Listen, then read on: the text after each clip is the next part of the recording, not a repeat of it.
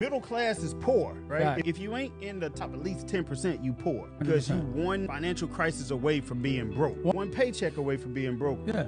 You said this earlier when we had a conversation about it. You said, like, think about it.